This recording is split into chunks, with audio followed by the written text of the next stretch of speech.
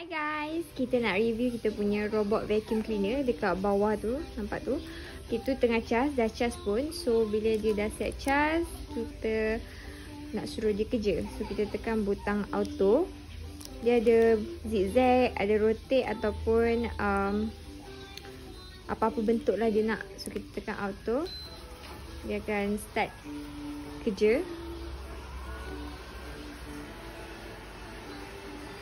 So kalau ada halangan kat depan tu dia akan elak. Bawah tu dia ada kain dan juga ada tank untuk letak air. So boleh juga kalau lepas sapu nak suruh dia mop ataupun sapu sambil mop sekali. Kalau kapet tu dia boleh panjat lah kalau senang. Ada certain yang dia sangkut kalau kat kapet kan. Tapi dia macam okey lah boleh panjat kapet. Lepas dia dah siap kemas-kemas kita boleh suruh dia balik dekat tempat asal dia. Dia akan baliklah masuk dekat bawah kotak tu. Kemas ni dia punya filter kita cabut.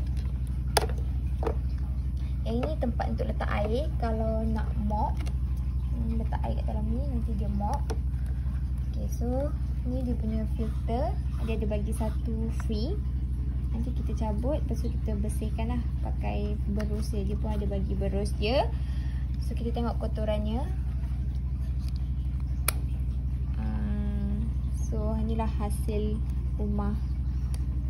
Rambut-rambut semua Dalam ni. So kita tinggal buang Dan bersihkan. Lepas tu kita akan Lepas balik dia ni. Lepas tu Dia akan balik sehingga ke rumah dia